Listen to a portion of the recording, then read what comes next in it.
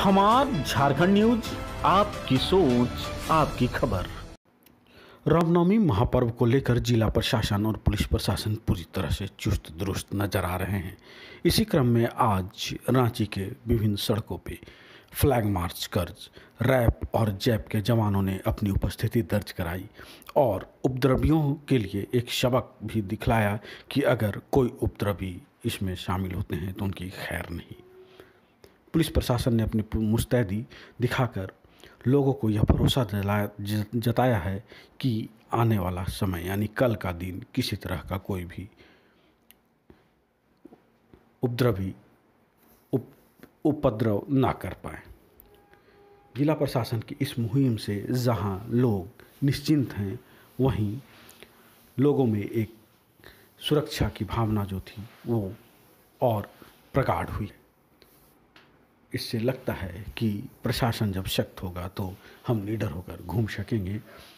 और यह भी बताते चले कि आए दिन जो घटनाएँ हो रही है, उससे लोग डरे, शामे हैं, जिसको लेकर के जिला प्रशासन और पुलिस प्रशासन ने इस तरह के फ्लैग मार्च कर लोगों को थोड़ी राहत दी है।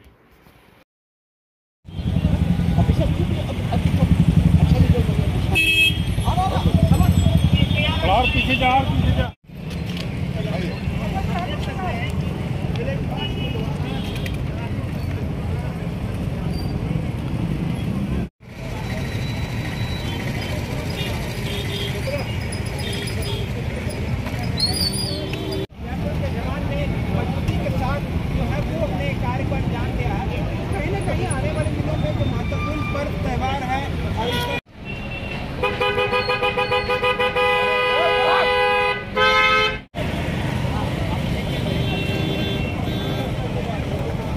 मिश्रा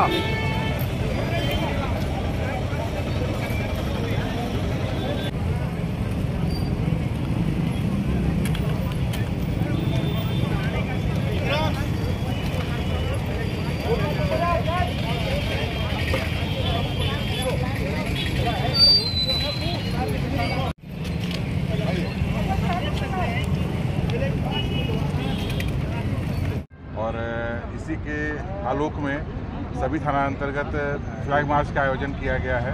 फ्लैग मार्च आम जनता में सुरक्षा का भाव देता है पुलिस की तैयारी को बतलाता है और ऐसे असामाजिक तत्व या सामाजिक तत्व जो माहौल को ख़राब करने का प्रयास कर सकते हैं उनके लिए कड़ा संदेश है। पुलिस अपनी पूरी तैयारी में है और उनके विरुद्ध अगर ऐसी कोई घटना होती है तो कड़ा से कड़ी से कड़ी कार्रवाई करेगी। सर ड्रोन कैमरा से भी नज़र रखा क्या है सर? जी हाँ ड्रोन कैमरा की व्यवस्था हमारे द्वारा की गई है जिससे कि हम ऊपर से नज़र रखेंगे कि ऐसे तत्वों का कोई जमावड़ा तो नहीं है या उनकी कोई गतिविधि संदिग्ध है तो हम उस पर कार्रवाई करेंगे। उसके अलावा सर और क्या तैयारी है? कितने बल सुरक्षा बल मोटा मोटा सर अलग अलग कंपोनेंट है हमारे पास। रैप की कंपनी है जो सीआरपीएफ के द्वारा उपलब्ध कराई गई है। जैपवन की है इको है जिला सशस्त्र बल है। अन्य अलग अलग जो सेंटर हैं वहाँ से भी हमें बल मिला है। जो जो भी संवेदनशील इलाके हैं या विधि व्यवस्था के लिए जो महत्वपूर्ण स्थान है वहाँ पर्याप्त बल दिया है।